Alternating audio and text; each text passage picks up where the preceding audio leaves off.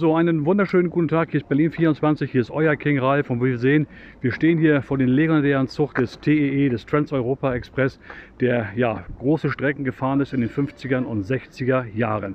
Wir haben die Möglichkeit, heute diesen Zug mal zu, ja, zu besuchen und ich nehme euch jetzt mal mit und genießt den kleinen Ausblick. Dieser Zug bleibt noch bis zum 31.10. hier in Berlin.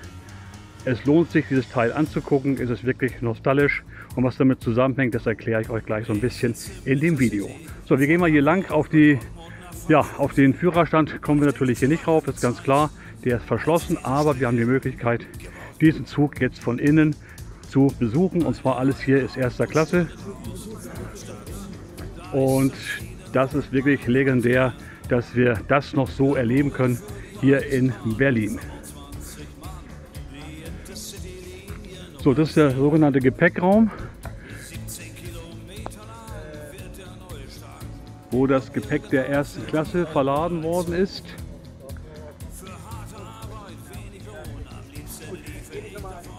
Hier auch nochmal das Schild TEE Saphir Dortmund Köln Liga bis nach Ostende ist der gefahren.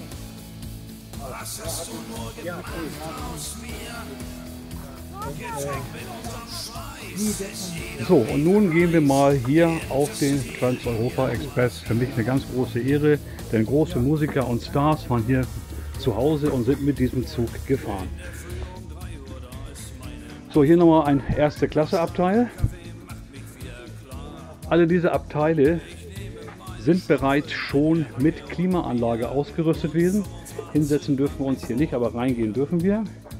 Der ein oder andere kennt das noch mit diesen Klapptische, die auch nachher auch in den 70er Jahren auf den normalen ICE-Strecken eingesetzt worden sind.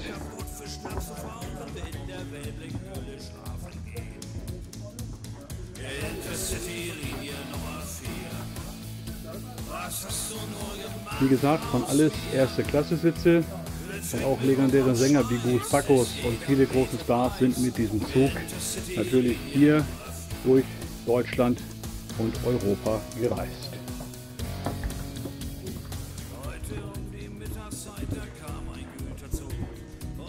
Und ehrlich gesagt, liebe Deutsche Bundesbahn, so einen Zug könnt ihr ruhig mal wieder bauen, weil die war mindestens bequem und sehr, sehr nostalgisch und man konnte die Tür zumachen und fertig und vor allen Dingen schöne breite Sessel, die man auch noch ausziehen konnte. Ja, sonst bleibt alles ein bisschen gleich. Lautsprecher und Licht. Und hier vorne natürlich dann die Heizung. Dafür, dass der Zug jetzt über 60 Jahre alt ist, ist der bombenmäßig im Schuss. Und ein Abteil schöner als das andere.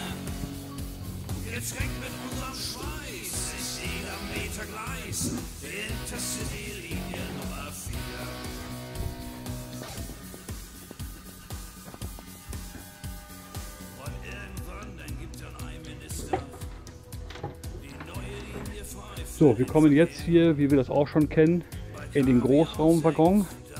Auch dieser hier natürlich hervorragend ausgestattet. Wie gesagt, der ganze Zug war erster Klasse.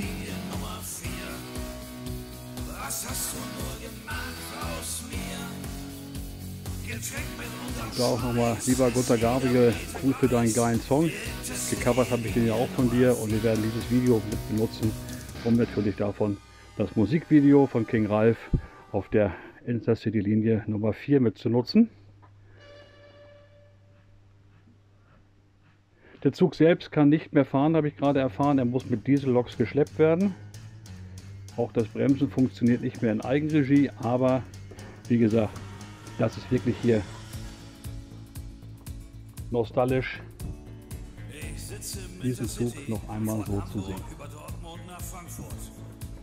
denke zurück an die Zeit, als diese Strecke gebaut wurde. Eine halbe Autostunde draußen vor der Stadt. Da ist seit vielen Wochen mein Quartier. So, hier nochmal so ein Blick in die E-Abteilung. Und wahrscheinlich war auch hier das Bordrestaurant drin. Das ist aber alles jetzt dann nicht mehr drin, der ganze Kram. Also hier kann man noch mal reingucken, wie, der, wie das alles verlegt worden ist. Die Kupplungsdinger. Und hier natürlich das WC, ist aber leider verschlossen, kann man jetzt nicht reingucken. Aber auch da steht alles dementsprechend da. So, hier wahrscheinlich für Gepäck. Stauraum. Zweite Türen. Und auch die ganze Technik.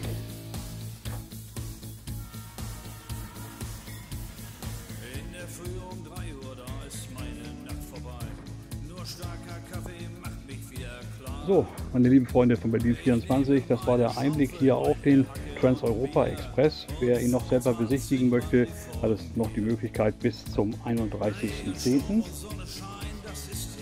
diesen Zug hier in Berlin zu besichtigen. Es lohnt sich tatsächlich. Euch einen schönen Tag, bleibt gesund, bis bald, euer King Ralf auf der Intercity Linie Nummer 4.